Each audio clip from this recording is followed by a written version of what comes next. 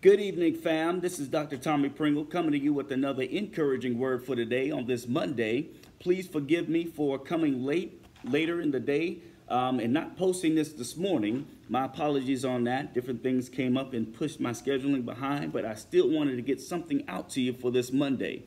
And I'm going to be coming out of the book of John, chapter 15, verse number 1, where it reads, I am the true vine, and my Father is the vine dresser. Before going on further into this particular scripture, we'll need to understand that this statement made by Jesus Christ to fully understand what is to follow based on what we're going to be covering later on this week. We'll pick back up on tomorrow on the second verse and see how it builds Monday, Tuesday, Wednesday, Thursday, and Friday.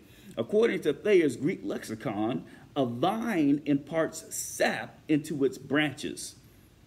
In understanding sap itself, it's a vital cultivating fluid and circulating fluid for a plant that allows it to have energy, that allows it to continue to live and function the way that it's intended to. With Jesus being the true vine, he provides the vital spiritual circulating fluid that keeps us spiritually alive and while providing strength and energy to run this Christian race and engage in spiritual warfare successfully day in and day out.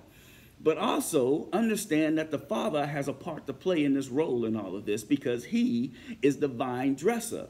I challenge you to ask yourself the question of whether or not you're connected to the true vine because there's imitation vines out there that exist that have no life in them at all. That's keeping you away from being connected to the true vine.